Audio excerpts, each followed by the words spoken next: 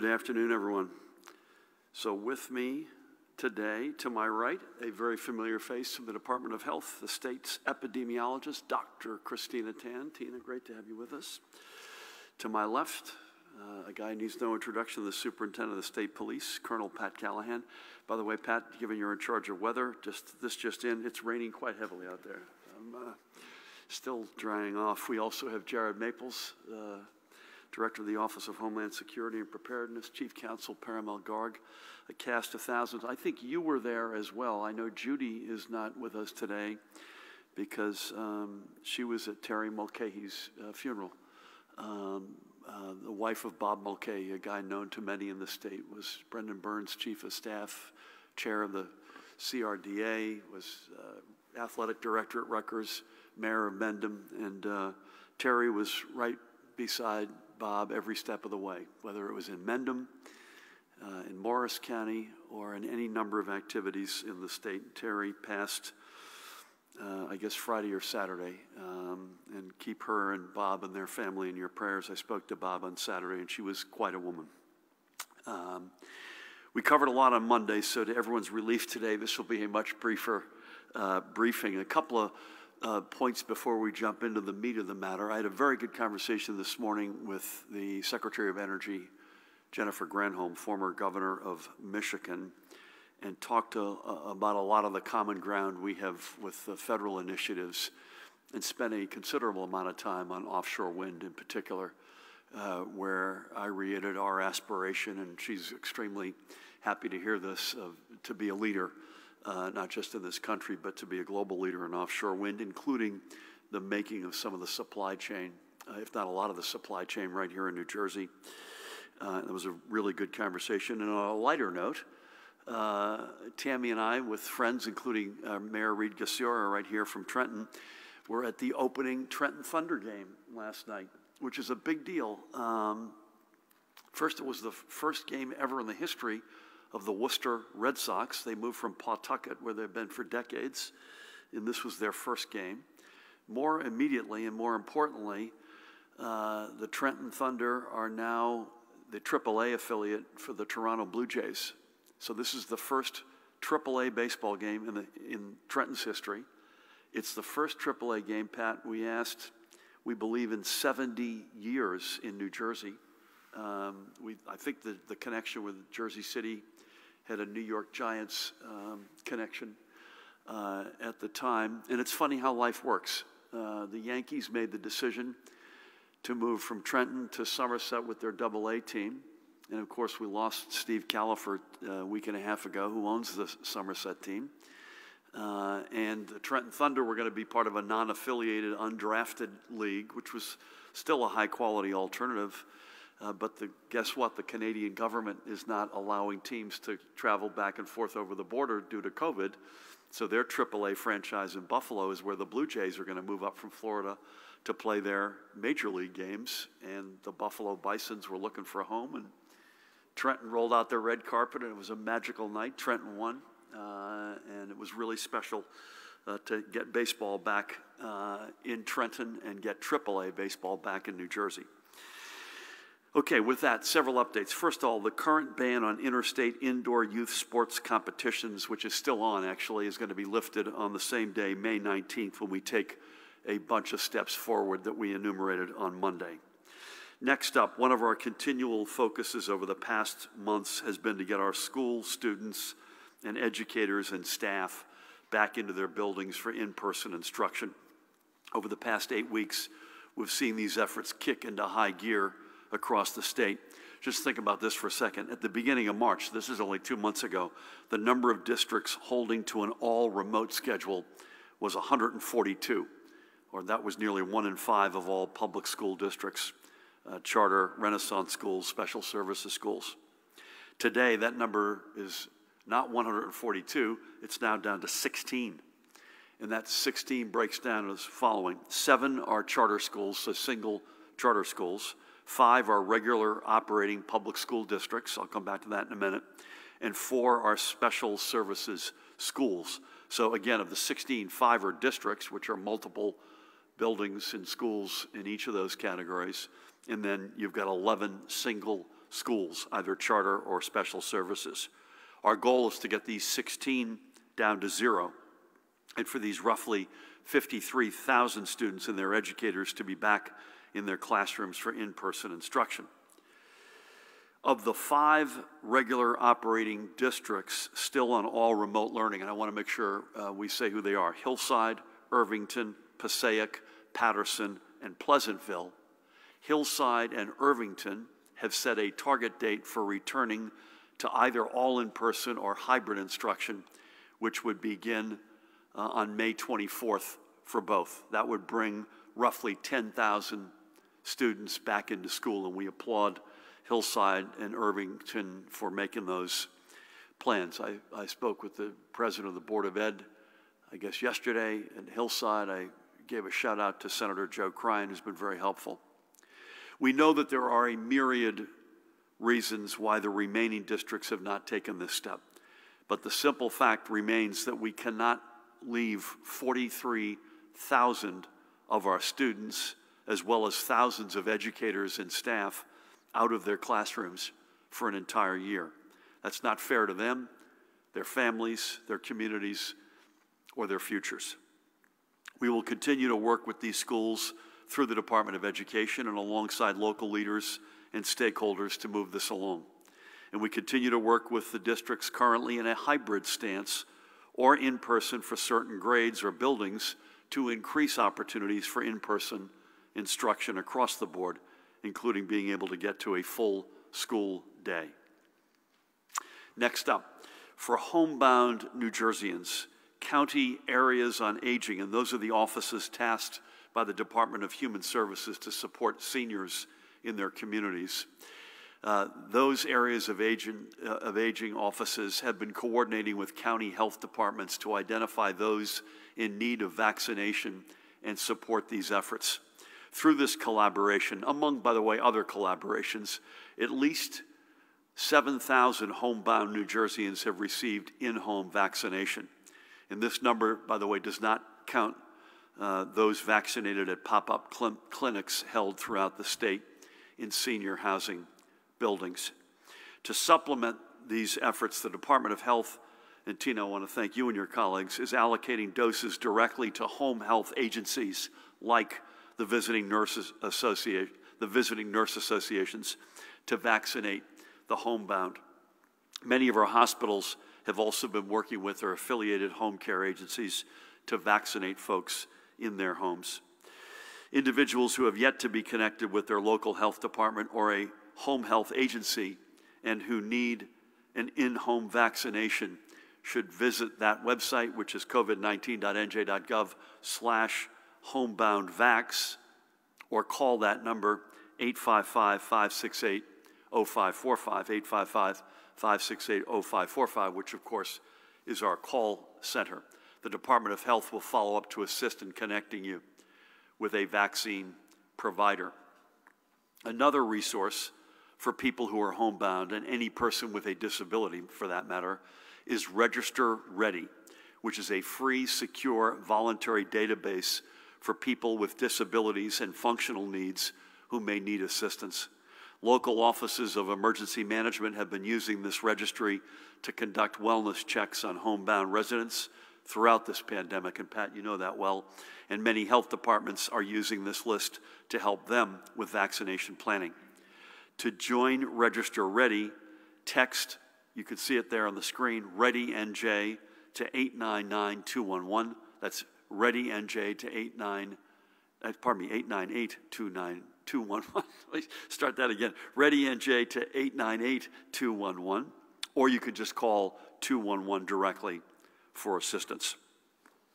Finally, since Monday's announcement, many more craft brewers up and down the state have asked to be a part of our Shot in a Beer vaccination incentive program. For the updated list of participating craft brewers, visit covid19.nj.gov slash shot and a beer. But these are the new ones, and I want to read them out because they deserve uh, to get a shout out.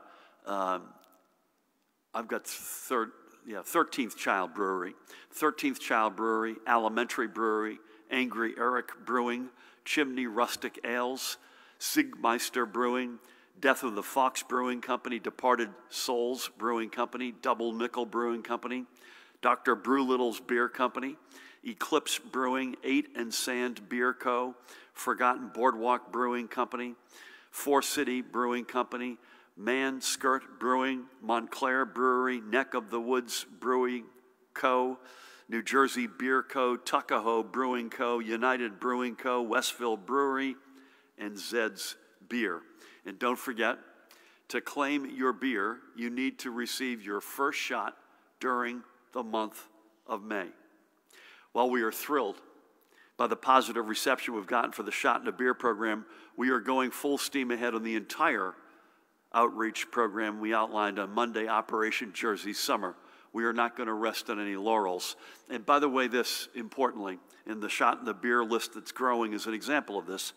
What we discussed on Monday is really just the floor of our efforts. We're going to be adding more components and more partnerships over the coming days and weeks. And everything we do, every component we add, and every partnership we build as part of Operation Jersey Summer will be on this strong foundation that we have set. This is all being done under, under a common theme, and that is for us to defeat this virus and get ourselves set for our future, we need a strong and healthy state. Public health creates economic health, and this push to ensure everyone has the ability to be vaccinated is our surest way to turn those words into reality. And with those updates, Tina, I'm going to jump into today's numbers with your blessing. We'll start, as we have of late, with the latest on our statewide vaccination program. As of this morning, the Department of Health has tallied a total of 3,210,158 New Jerseyans fully vaccinated through our program, representing a total of nearly 7.3 million administered doses. As I mentioned on Monday, Monday, the department has further identified now what is, we said 155,000 on Monday. The number has grown somewhat to 157,000 New Jersey residents who have been fully vaccinated through sites in other states. This brings the total of fully vaccinated residents to roughly 3.37 million, which means we're 72% of the way to our initial goal of 4.7 fully vaccinated New Jerseyans by the end of June. So let's keep our eye on the finish line. This is a marathon, and we have now passed, sort of by my mind's eye, the 20 mile mark. But it's always that last 6.2, having run one marathon uh, in my life, that the last 6.2 that is the biggest test and the hardest. Um, so let's keep to it and let's get vaccinated. Today, and I know, Tina, you're going to get into this in more detail, we're reporting an additional 1,309 PCR and an additional 1,700 presumed positive antigen tests. Um, before anyone uh, uh, jumps uh, in reaction to this, this number is high as the Communicable Disease Service, which collects and reports this data, was informed yesterday of a processing error in which meant more than 2,650, Tina, I've got by my count, antigen test results, some dating back as far as October, were never previously reported or cross checked.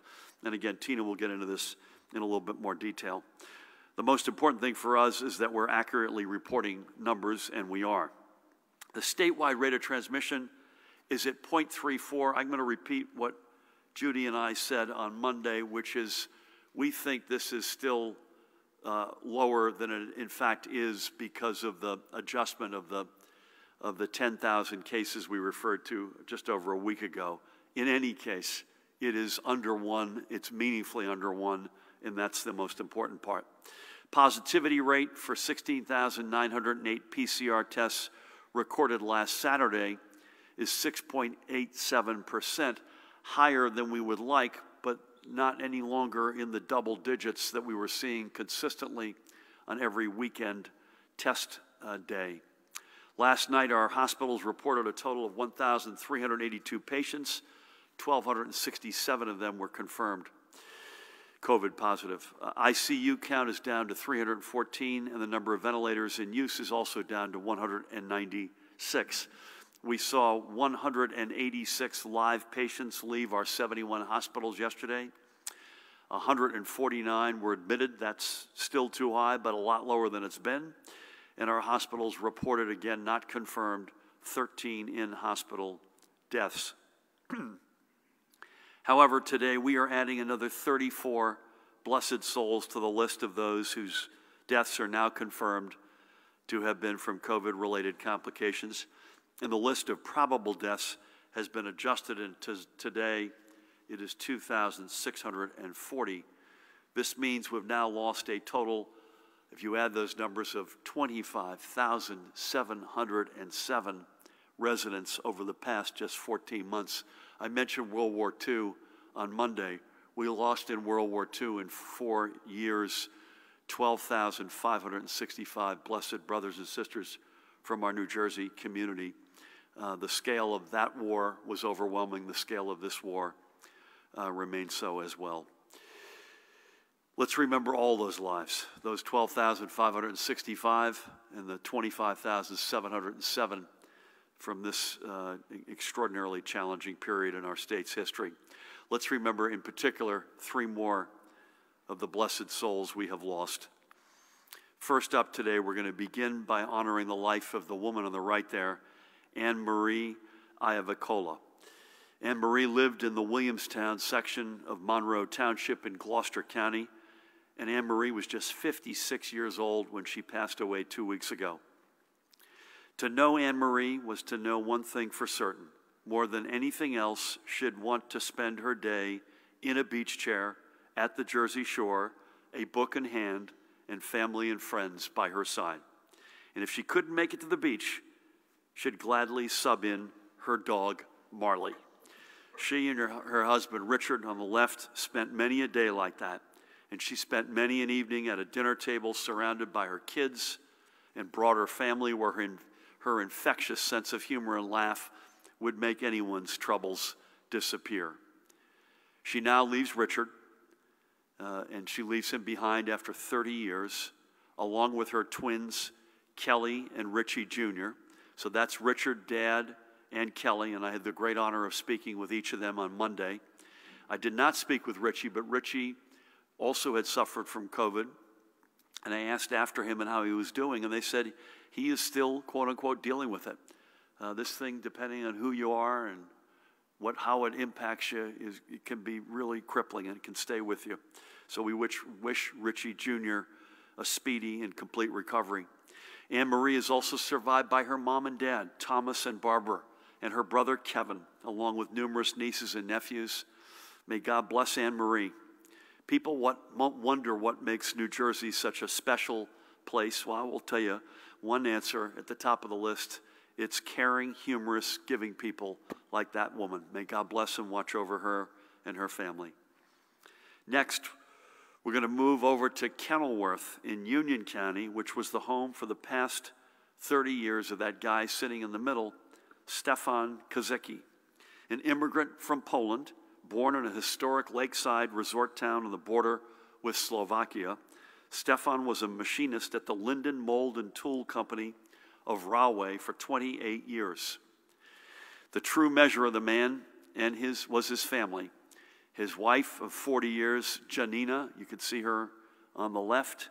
His three children, Renee, you can see her just to Stefan's left, and uh, Stephen and Joseph, and their spouses, Adam, Lindsay, and Donna, respectively. And his four grandkids, Grace, Gwen, Charlotte, and Olivia for each of them. He would and could do anything, and he leaves them all behind. I had the great honor of speaking on Monday with Janina, his wife, and Renee, his daughter, and learned a lot about a great guy. He also leaves behind family back in his native Poland, including his brothers Jan and Franek, among numerous nieces, nephews, and cousins. Stefan, by the way, had just turned 65 years old when he passed. May God bless and watch over his memory and his family. Finally, we're going to stay in Union County among its strong Polish community to remember this guy, Janusz Masidlo of Union Township. He too was born in Poland and came to this country to find better opportunities. Janusz was a foreman at a machine shop, the perfect match for a man who was detail oriented, loved to tinker, and could fix and create just about anything, whether it required his carpentry, electoral, electrical or mechanical skills, or his intuition in the garden and in the kitchen. The patience he had with his work also poured out to family and friends. Janusz is survived by his wife Teresa, who you could see with him, his children Margaret, Robert, Dorothy, Dorothy's husband Kevin, and his grandchildren Savannah, Sonia, and Kyle. I had the great honor on Monday to speak with at least, it was a room full of people, I, at least in the room was Teresa, his wife and uh, children, Margaret, Robert, Dorothy, and his granddaughter, Savannah. One of the life lessons he instilled in his children was, and I quote Janusz, listen to those who want to speak to you.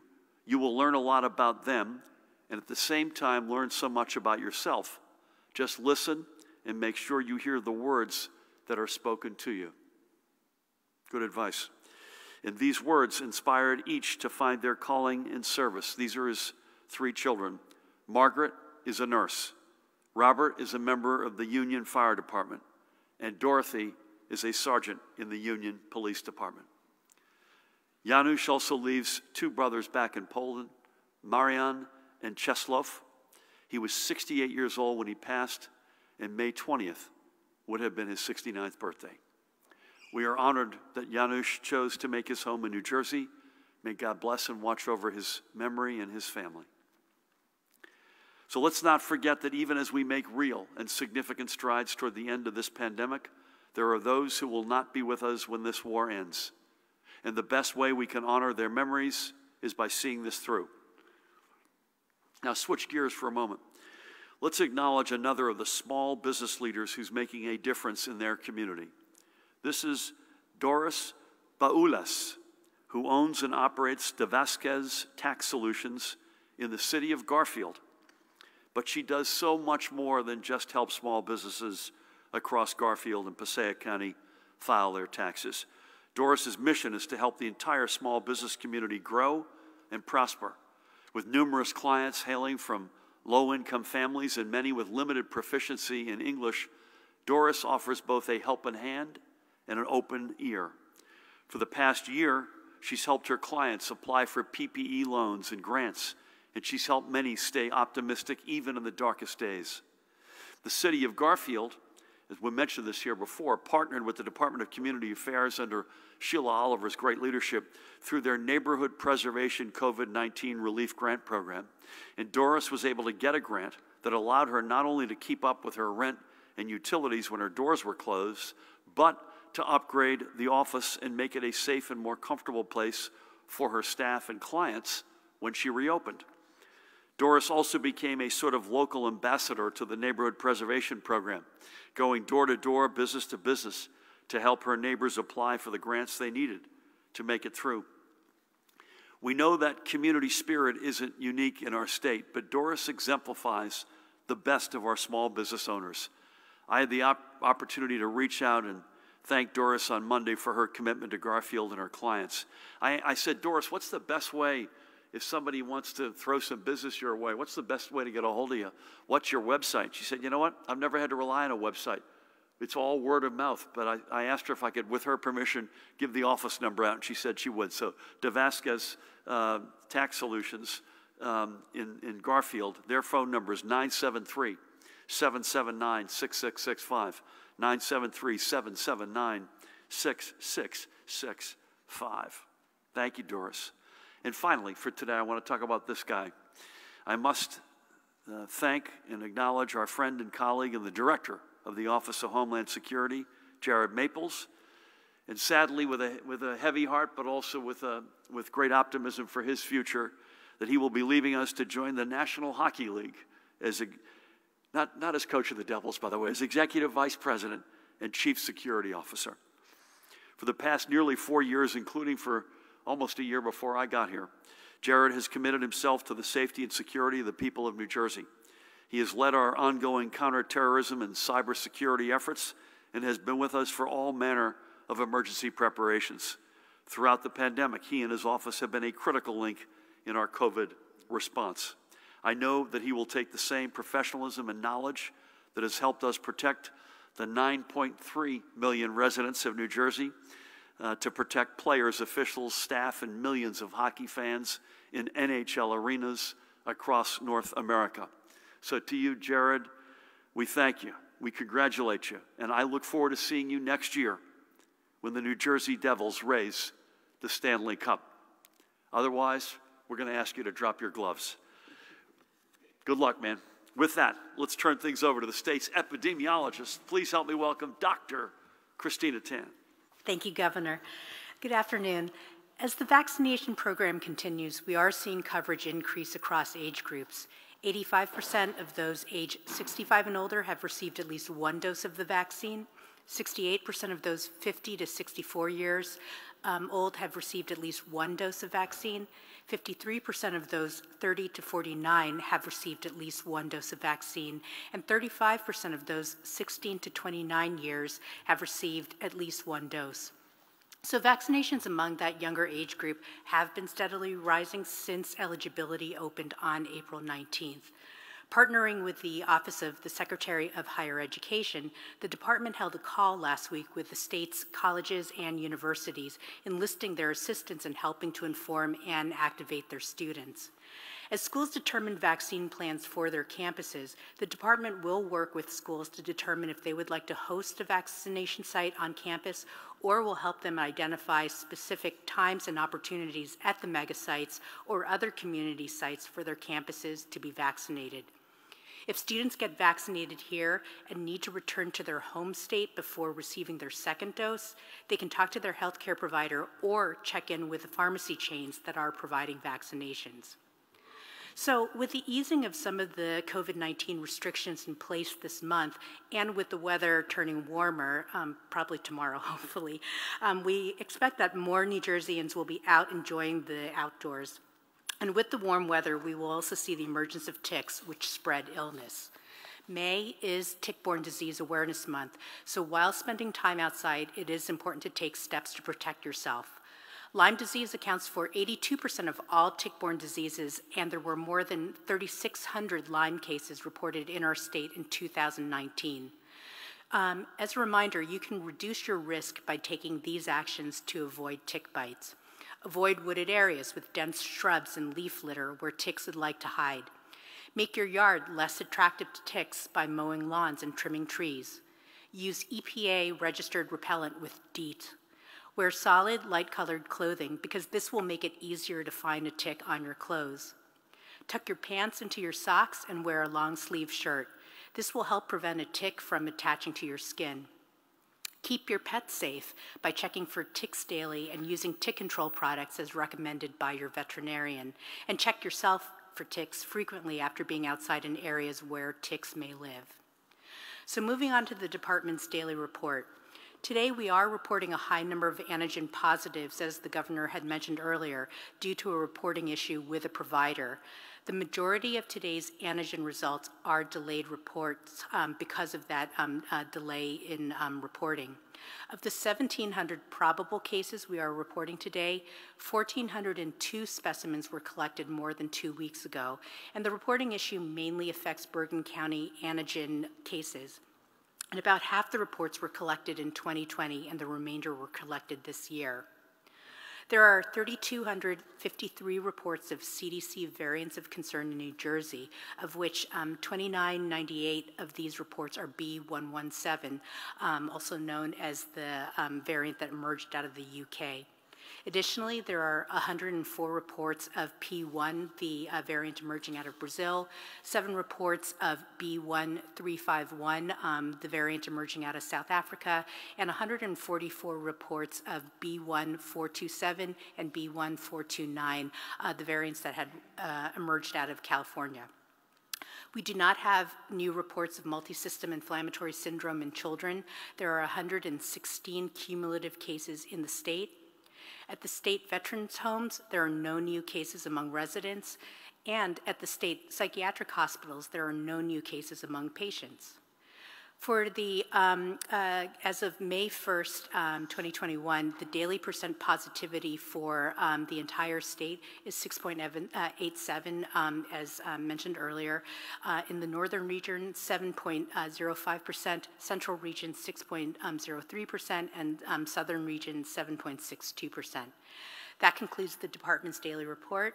Please continue to Practice public health precautions, mask up, physically distance, stay home when you're sick, get tested, and get vaccinated. And if you're spending time outdoors, take steps to protect you and your family from tick bites. Tina, thank you. And the tick uh, awareness point is another good example of notwithstanding an overwhelming pandemic with an overwhelming loss of life, again, akin to a war and then some, life goes on. Other public health challenges remain, are there. Other piece, pieces of government remain in motion, and we have to, you know, and we've had to, from day one, balance the fact that we're all in all the time on a pandemic, but other stuff matters. So thank you for that reminder. Great to be with you.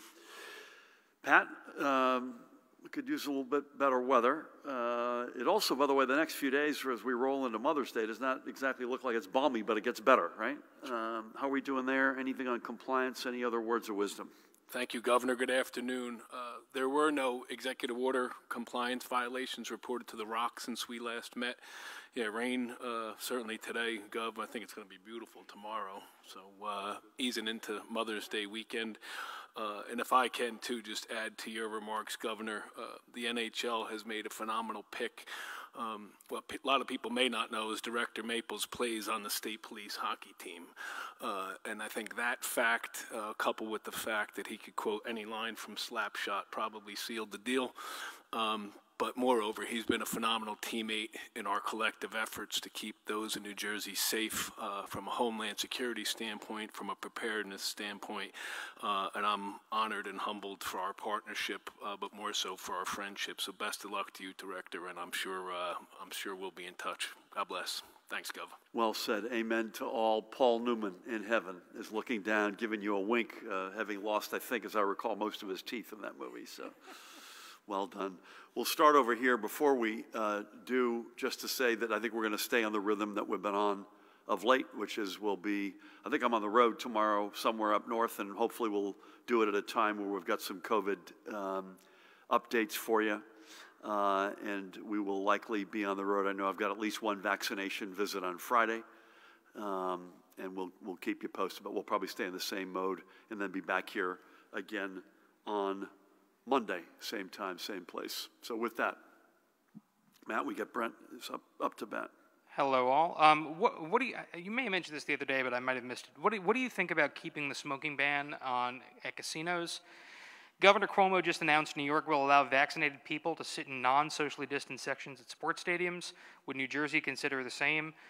Uh, people are again having issues claiming unemployment benefits, this time because programming didn't capture claimants when the state triggered off high extended benefits to transition them to another program. Will these issues keep happening every time uh, benefit programs change? And why isn't the DOL communicating how long it will take to resolve? You have a bill on your desk that would form the Government Efficiency and Reg Regulatory Review Commission. Will you sign it? And if not, why? And last one from Karen Yi of WNYC. How many primary care doctors will receive vaccines from the megasites as part of the hub and spoke program and when? Why did it take so long for primary care doctors to play a role in the vaccination program? Um, I've got, I, I don't think I, I, I, was asked about the smoking ban on Monday, and I don't think I answered it, right? Did you ask it? Yeah, someone else did. I, I forgot to answer. I've, I've not developed a view on that, um, so I don't, I don't have a, an answer for you. Um, no comment on New York, but these are, listen, we will get to the point, I hope sooner than later, where we're, we're going to continue to take steps here, assuming we can achieve our objectives. And so I think folks should assume basically everything is on the table uh, and between today and complete normalcy. The question is really what and when. Um, Unemployment insurance benefits, I've got no color on that, but I know my friend Rob Asaro-Angelo, and I suspect he's watching. So if I get an answer, I will come back to you personally from this microphone. Otherwise, Mahen, will you follow up with Brent um, and, and, uh, and come up to you?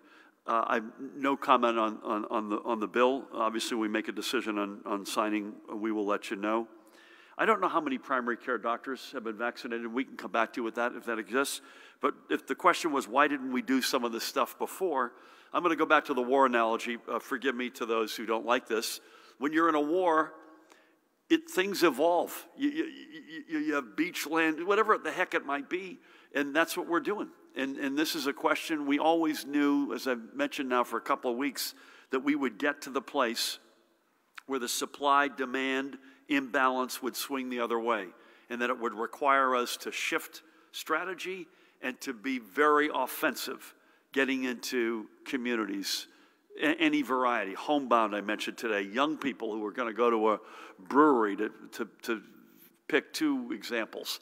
Um, and so th- these are steps that, you know, at the right time and the right place, we always knew we would, we would take. And so that explains the timing.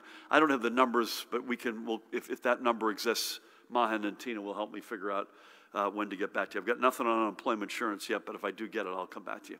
Otherwise, we will follow up offline. Thank you. Alex, good afternoon. Good afternoon. Governor, have you spoken recently to Governor Wolf in Pennsylvania? He made a major reopening announcement, I believe it was yesterday, including that if 70% of the 18 and over population in Pennsylvania is vaccinated, he will lift the mask requirement. What do you think of that? Is that something So I, that I missed that. The what percent of what? 70% of the adult population of Pennsylvania, if they're vaccinated, Governor Wolf has said he will lift the mask mandate. Okay. Is that something you might consider? And additionally, on Pennsylvania, they've been at indoor dining at 75% since Easter. And even though they're, they're larger than us, they had about triple the new cases of COVID on May 3rd, and they have more people in the hospital and on ventilators. Is Governor Wolf being irresponsible in moving this quickly, or is he simply moving more quickly than you would?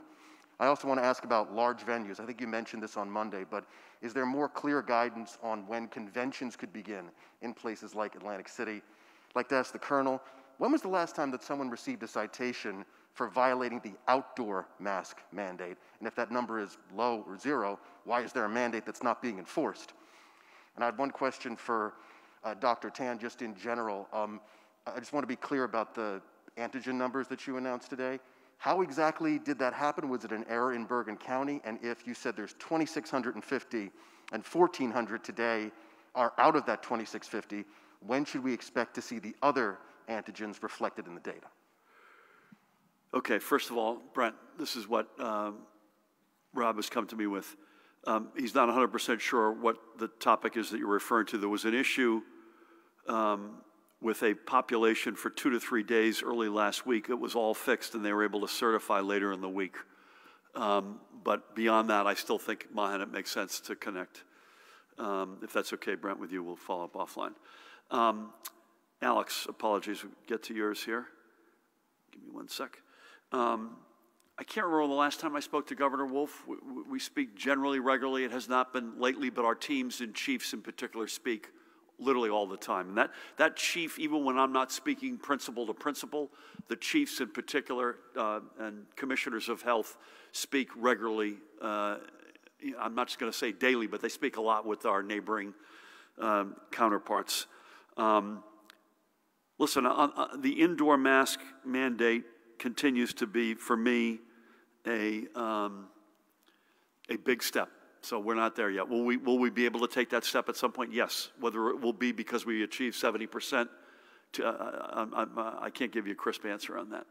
Um, I don't have a, I don't have insight as to why his cases are up. Honestly, um, we decided not to go to that 50 to up to 75 percent uh, step because it was quite clear that both bar seating, which we, which we are now allowing as of Friday, that lack of that was shrinking the denominator. And secondly, the six foot CDC rule, those are the two that bite the most. So I've, I got no, um, no color on their situation. Obviously, we hope that they, I think he's a terrific leader, and I hope they get through their challenges as, as I hope we do as well. So the, the, the uh, Parimal will, will, will help me out here. The, the, we're not saying anything but yes to conventions, but there, there are capacity limits. So it's going to go up to 250 persons per room. Is that this Friday or, or the 19th? That's on May 19th. May 19th. So that's two weeks from today. Uh, but I, I did mention the other day the, the concept that that's 250 per room, and Atlantic City's got some very large rooms, and it also has fixed seating theaters. I know at least two, Hard Rock, Ocean, which have a very large footprint, and we're allowing 30% of those seats to be filled effective the same day. So you could, you, the answer is, it's not a binary yes, no, it's, a, it's really the scale of the convention. I hope that we can get, again, we- we're on, we're on a journey. We keep getting people vaccinated. Our health numbers keep going the right direction. We're going to keep being able to open things up. And then the last two questions are for my colleagues. I, I, I have no idea the last day we did a mask, out, outdoor mask mandate, but that doesn't mean just because Pat isn't doing it that local authorities are not doing it. It's much more likely that a, a local police department would be making that move, I would assume, Pat, or in your case, where you all do the, you, you step in and do the shoes of the local policing. And then Tina, any more color on the tests? Pat? I'll just, and I, I, I could go back and check that, Alex. There's been about 4,000 EO noncompliance reports uh, since we started with the executive orders. Uh, over 400 of them have been indictables, so that would exclude the outdoor mask, and about 3,600 fall into that. But um, I could circle back with you and get you that number, but to give you a ballpark, that's, we're looking at about 4,000 violations since this began. And that could be for any number of things. that Capacities, I think, were probably the most. And again, on outdoor masking, I just want to make sure we re- reiterate if somebody's watching for the first time. From the moment we put these in place on the outdoors side of this, you need to wear a mask outside if you cannot socially distance. If you can, you do not need to wear it. That's, that, is, that has been the case from day one, and that does not have any caveat as to whether you're vaccinated or not. That's, that's the rule of the road in New Jersey. It has been um, uh, from day one. Tina. So um, these new files that we got, um, they all came from a uh, healthcare provider group up in Bergen County, and um, uh, so when we actually started, you know, kind of shaking out all these uh, different files, some of those files, uh, some of those positive antigen tests uh, created new cases, uh, new probable cases, while uh, the remainder of those antigen tests were attached to existing um, probable cases or, you know, some confirmed cases um, that already existed in our system. You know, we're still kind of shaking out the numbers right now, but we anticipate that from the um, antigen um, results that were reported today, um, probably about um, 300 of those are actually are uh, not from that uh, file, that lump of files that came to us from this one particular provider. Oh no, uh, they um, when when the result comes in, you know, we get we're not the ones that um, are necessarily uh, the first uh, receipt of um, these um, uh, results. These are reports, uh, these are lab results that are um, ordered from healthcare providers who actually are the ones who are doing the, you know, the follow-up, the clinical uh, care of these particular patients. We're, we're counting these individuals uh, for our um, surveillance purposes. Thank you. Okay, you're good. Sir, you got any? Yes, I do. Get yourself focused. Afternoon, Governor. Good afternoon. Um, I have a few on vaccines. Um, what is the state plan for closing vaccine sites like Essex County is doing? Uh, how is your distribution plan impacted by closures and declining demand, and can it respond to these changes quickly enough? And can we get numbers on vaccine loss or waste, and what steps are you taking to reduce this loss? And on schools, uh, what plans, if any, does the state have for encouraging additional summer programs in public schools to help kids catch up who are suffering from learning loss? Yeah, I, I, would say the first two questions, um, impact of, sorry, uh, any observations on closed sites and then the impact that that will have. Similar answer to the question that Brett asked on behalf of someone else. I forget who it was on behalf of, but you know, what primary care doctors, why now? This is all. I think you saw President Biden, frankly, talking yesterday in a similar mode to what we were talking on Monday with the hub and spoke um, uh, approach. So this is basically going to get very localized, is the best way to put it. I assume that we'll continue to have some big sites where folks can go because they're, they're so well run and so efficient. But this is going to be increasingly localized, community specific. Um, get into you know get into all the crevices and corners of the state, um, and that's that was our intention all along, and we knew it would would uh, come upon us. I don't have any update on vaccine loss or waste other than it's very low, but we can follow up with you unless you've got something off the top of your head. We'll come back to you. But I, our folks have, remember, we are in the top handful of American states on the efficiency of getting doses into people's arms, and that does not happen. You- You're not at that level, particularly among big states where we're invariably by ourselves on that top 10 list. That doesn't happen if you've got a lot of waste. So, will we mind if you can help me follow up?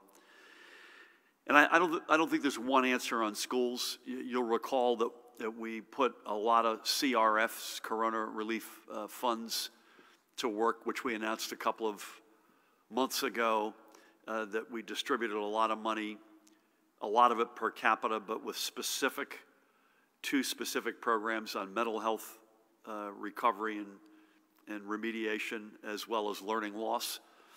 And there's a lot of flexibility in that money, and as I believe there will be in prospective money.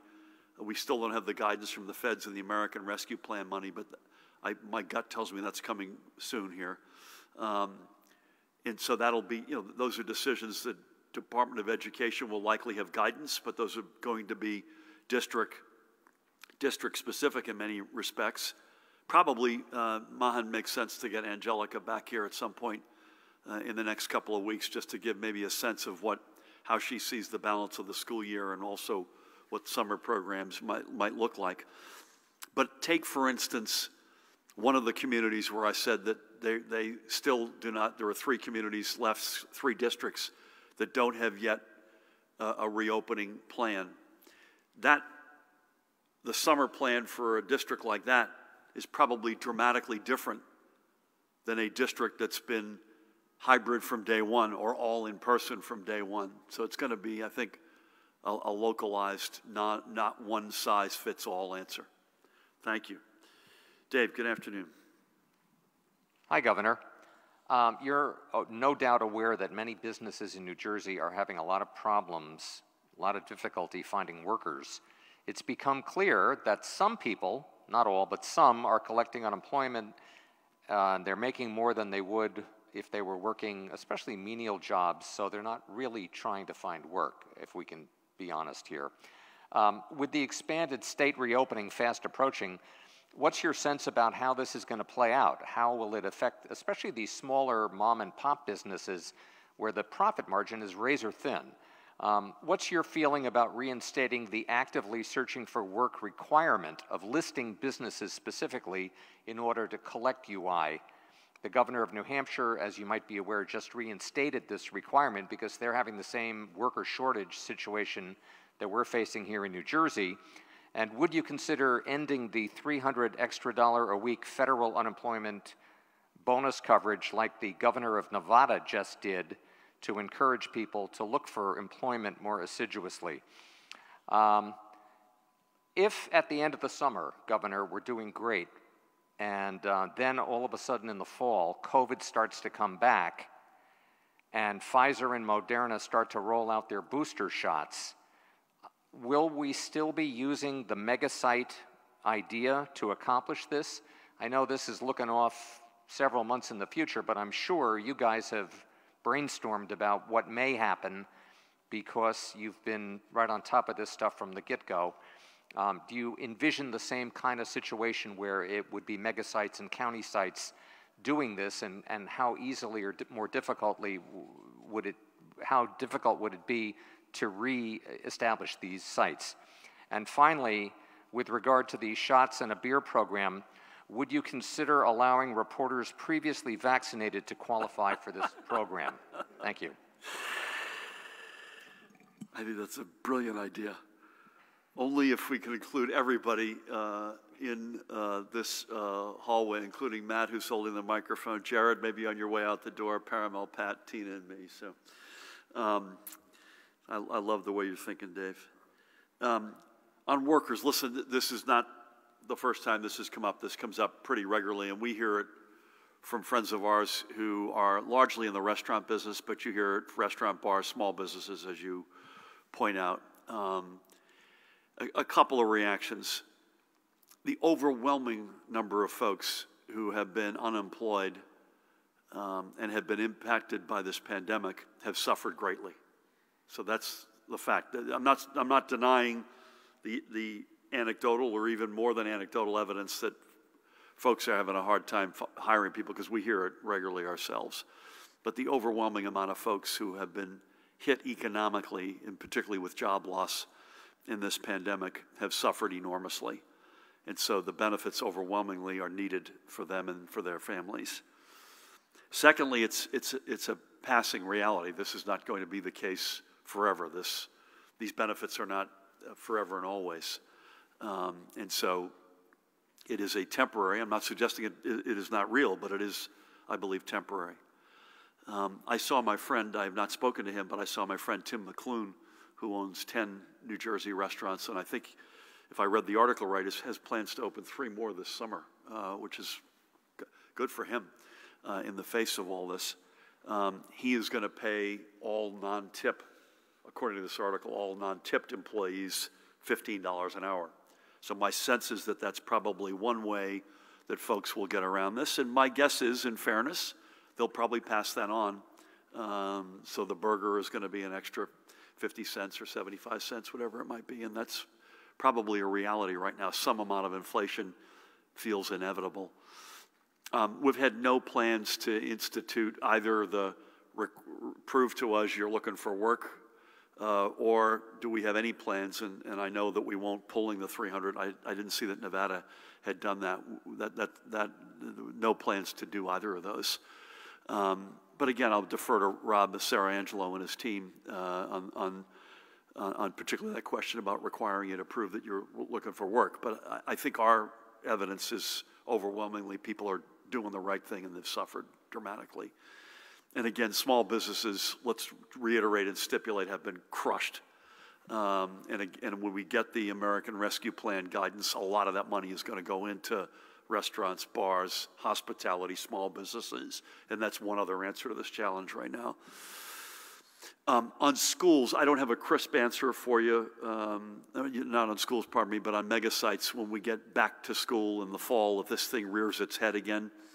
First of all, Tina, I'm hoping against hope uh, that it doesn't rear, rear its head again, at least in a meaningful way, particularly given the vaccine levels that I'm sure that we're going to get to. Uh, but I think I've said this a number of times. We will leave either literally or with short notice a lot of our distribution infrastructure in place. Um, and that's going to be a, a broader, more complicated reality than when I said it a couple of months ago because that infrastructure now will include a much more, as I mentioned a few minutes ago, a much more localized element to it. I would bet, and again, please God, we don't have to go through this, but we could be, you know, as we've said many times, it could be the flu shot. It could be that every October, as I get my flu shot, you're getting, you're getting um, uh, a, a, COVID uh, booster. Um, if it is, my guess is it will be at least in the near term and both, meaning it will be mega sites because they can do such scale so efficiently and so quickly. But when I get my COVID, uh, my flu shot, rather, I go to a Walgreens. I call up, make an appointment, I show up and get that. So my guess is it's going to be and both. It's going to be the big sort of hubs as well as a lot of the localized places that um, that we um, that we are now getting to in, in much more of a scale. With that, I'm going to put this bracelet on, given to me by retired trooper. Is it Billy Trump? Yes, Billy Trump, no relation to the president. Um, a really cool bracelet. This is another reminder. We were together. Jared was with us, with Pat and myself and others, at the Survivors of the Triangle, very solemn um, annual event on Monday. And I might add, and we, by the way, we're at the Blue Mass yesterday uh, back to back, remembering in a different way, in this case at the cathedral in Paterson with Bishop Sweeney, uh, remembering those lost in the line of duty, uh, as well as their families. So, Billy Trump, if you're watching, I'm wearing this with pride here. Tina, thank you, as always, and um, we'll look forward to seeing you back here as we always do. I'm going to mask up. Pat, thank you. Jared, best of luck. Make sure you ensure the Devils win the cup. Sooner is better than later. Parimal, Mahen, Matt, the rest of the team. Keep at it, folks. Keep doing what you're doing, slowly but surely. We're getting there. Mahen, if my math is right, yesterday we, we had a big vaccination day. So the past few days have been modest. Yesterday, I think we had 38,000 first doses, which is huge. And I suspect it's not unrelated uh, to the fact that we've dropped the hammer. Um, so let's keep that up, folks. Get vaccinated. Uh, keep doing the right things. We're going to continue to open the state up. We got a lot of stuff happening on Friday, including dance floors for proms and bar seating in restaurants, um, among other steps. So stay strong and God bless.